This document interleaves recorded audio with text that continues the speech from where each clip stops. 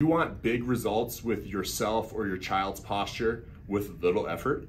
It's Dr. Norris here, and today is back to school day locally here in the Boulder County area. And so traffic was crazy. And on the way in, after I got to the office, Michelle was telling me about how Sion's backpack was so freaking heavy, she had to carry it for him. So what we're doing is we're gonna be filming some segments today on back to school and bad posture exercises. So whether you're a teenager with poor posture, or even like in the case of Zion, he's only nine years old, right? So he's already experiencing things like headaches locking his neck at certain points of the time, getting into like spasms over uh, the weekend there. That happened just a couple weeks ago. So like he's already having spine problems at eight or nine years old. I see that in teenagers all the time. And then of course by people in their 20s or 30s, I mean, lots of people are experiencing neck pain, back pain, headaches, and a lot of it is just simply attributed to your posture and your alignment. So of course, getting a good upper cervical correction and full spine correction is gonna make better posture more possible but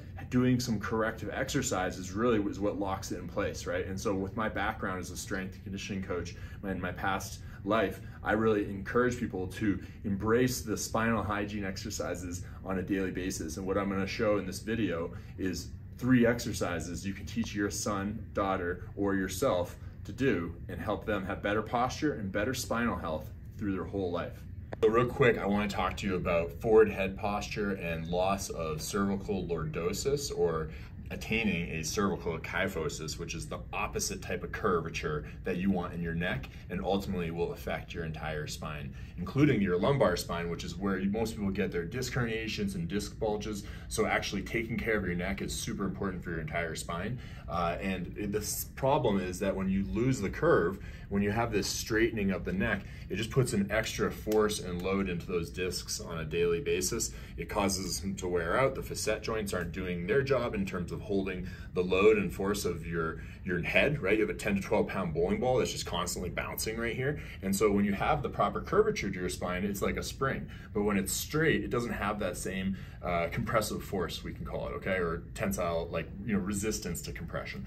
And so uh, long-term what that results in, and typically, you know, we have some traumas and whiplash injuries and things throughout our life that we're exposed to, or, you know, for myself, I haven't had any whiplashes, but I've had lots of sports injuries, which are just other types of whiplashes, right? And essentially, if you've ever had a uh, concussion or hit your head in a way that you thought you were, you, you might have a mild concussion, you've damaged your neck in some sort of way, whether it's the upper spine or the entire cervical spine, okay? And so what happens long term then is you start to get arthritis and degeneration of these discs, but that's potentially preventable if we can get to it fast enough, if we can restore the curve and get the head back over the shoulders and reduce that forward head posture, you can potentially prevent this degeneration from happening and of course a lot of pain and misery and suffering along the way. So the first exercise, I'm gonna give you three today. The first exercise, an oldie but a goodie, is chin tucks. And I often am surprised with, especially with children or adolescents or teenagers uh, who have really bad posture. They don't really have a lot of um, body awareness in the sense of like figuring out how to activate these muscles. So I'm gonna give you some really important cues. What do you wanna do for beginners is just get your back flat on the wall. My feet are kind of off the wall. I'm sort of leaning against it per se. And what I'm gonna do here is just get the ridge on the back of my head. I'm gonna try to press that up against the wall.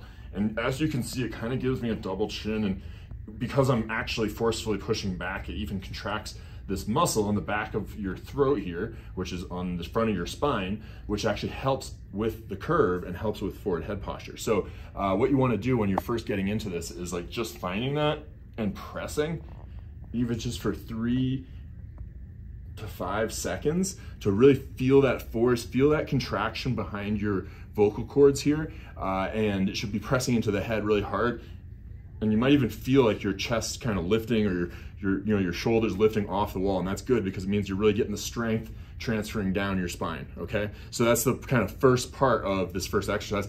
The second part is if that's easy, then what you can do is the full chin tuck with a neck plank, okay? So you know how to do the activation, but what I'm gonna do is I'm gonna, first I'm gonna squeeze my glutes, get your butt off the wall, okay? I'm in this straight planking posture, really squeezing my glutes hard. I'm pulling my belly button into my spine, and then I'm gonna press my chin back, and I'm really just putting all the force into the occipital ridge, back of my skull. It's totally safe uh, to do this and a great support because now my entire spine is pushing into extension, okay? So I have a really flat back, I'm totally planked out here, and just like you would do like an abdominal plank on your forearms, essentially I'm just pushing on my back of my head for this extension. And that's great to do. You can do that for time, okay? So let's say at first it's tough, maybe you do 10 seconds and you kind of start getting wobbly or your, your back hits the wall again, you're not really getting your shoulders off the wall.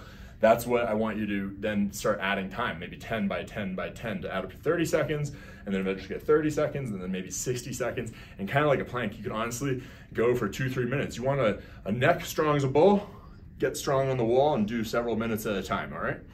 Next is face pulls. So I, I, got these new bands. They're nice and thick and they're fun to play with. And I got a little uh, eyelet ring up here so they're easy to attach to in the office. But of course, not everyone has an apparatus like this. Maybe you can take the bands to the gym, attach it to the squat rack, or even like loop it through the top door handle of your door. So it's just a little bit higher than your head or your face. And you can either use a thicker rubber band like this, or those th like thicker uh, shoelace bands or TheraBands. And those are really easy to source online Walmart, whatever, you know, not hard to find, all right? Uh, so with this band, we're gonna do face pulls. So you can do this in two variations. You can either get staggered and kind of like a scissor stance, get your arms out nice and straight, slightly above the, the face and the head right here. And then I'm just gonna pull back, bring my hands almost like my thumbs back towards my ears.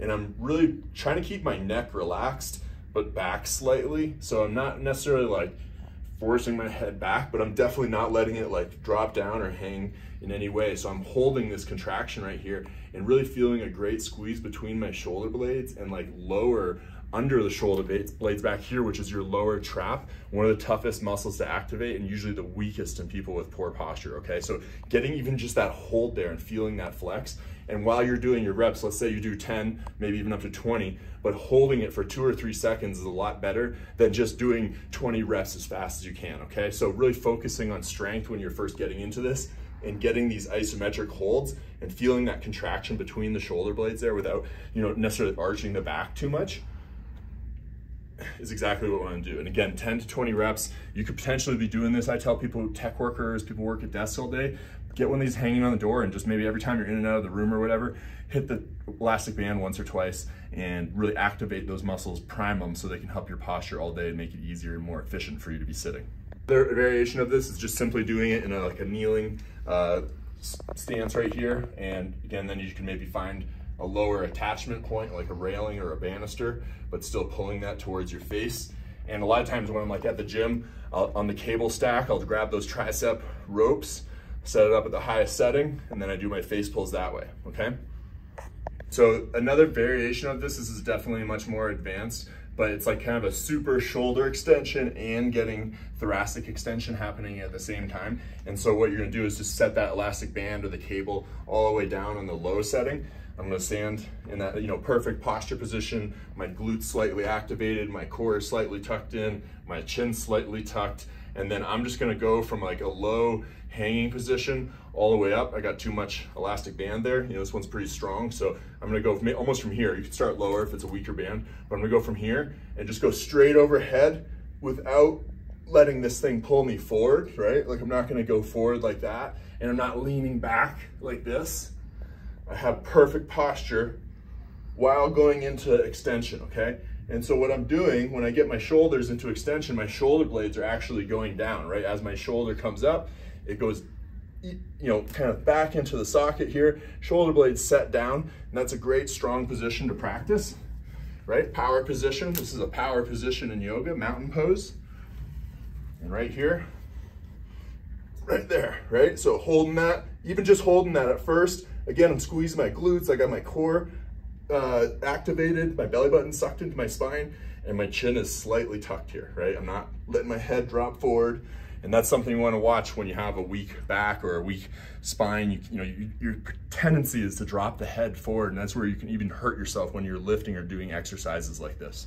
So this is another great one to hold even just isometrically or for two or three seconds at the top. And again, about 10 to 20 reps a couple times a day, or even just working those into like your workout routine would be excellent. Guys, so, you know, nothing new here, but this is exercise number three. It's gonna be essentially starting with a baby cobra, working your way all the way up into doing Supermans and Ironmans, all right? So basically what you wanna do you know, yourself or your child, you're gonna lie down, you could just start first. For some people, they have a, again, a weak spine, no disrespect here, but they have a weak spine. So just starting with your forehead on the hands and then tucking that chin slightly and then lifting the head back. That's step one, right? So cervical retraction. Step two is like getting the whole sternum to lift at the same time, right? So you can see how I'm, I'm using my arms a little bit, uh, but for me, you know, this exercise isn't super challenging. So uh, for someone who's hard, like they might want to, you know, press or whatever. Uh, again, I'm not like looking up at the sky. I'm not like tucking my chin so much that my head goes down. I'm really trying to lift my, my forehead and my sternum at the same time, okay? So, right, now maybe go to baby cobra, get your hands, thumbs kind of by uh, chest and uh, nipple level. Again, now the head is resting all the way on the ground. And I'm gonna lift my head and my sternum. In this case, I'm using my triceps a little bit, almost like a little push-up to lift them at the same time. But eventually, I can take my hands off the ground. I'm gonna really focus on my glutes being activated. And now I can lift my head and my sternum off the ground at the same time. Good, so now I feel that really strong through there. Well, guess what? That's where most people's backs ache at the end of the day where they're feeling really tired and achy believe it or not, we need to turn those muscles on and get them to do more work during the day instead of just like hanging out and trying to hold this bowling ball head three inches of where it's supposed to be, okay? So if you can get your head back by doing these extension exercises and get your head and your rib cage and your pelvis all into alignment, just gonna be a much more efficient position whether you're standing, walking, or sitting all day, okay? So the last thing is gonna be doing like a Superman or an Ironman. This is more for athletics, but really good for coordination Ultimately, you're gonna get your arms and legs out. You're gonna start, just kind of actively lift the ch chest and the sternum off. I'm not necessarily going for like the max height that I could go to, but I'm lifting it, it's actively raised, and then I'm alternating like Superman flying in the sky, and I can even do both at the same time, and I can hold it like this, or I can put my hands back like this. I call this one Iron Man because, you know, Iron Man flies more like head first like this. And then I can even work in a little rocking, get a little rolling going on there. That's great for getting your glutes activated, the spine and everything all connected at the same time and really a good solid tight core. And so that's your third exercise there. And if you did all of those on a daily basis, it probably only takes you about five minutes and you're gonna have better posture and hopefully avoid having to come see me when things are really bad. But of course, having proper alignment is the key to success and what makes this work. Hopefully you found today's content helpful. Make sure you like, subscribe, do that thing. And if you have any comments, leave one below. I'd love to make another video of something you're interested in.